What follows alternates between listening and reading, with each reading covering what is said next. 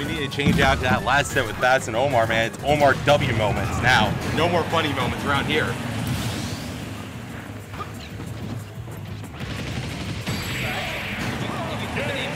Uh, no, because Yeah, the here. pictures need to be changed, and I can't do that.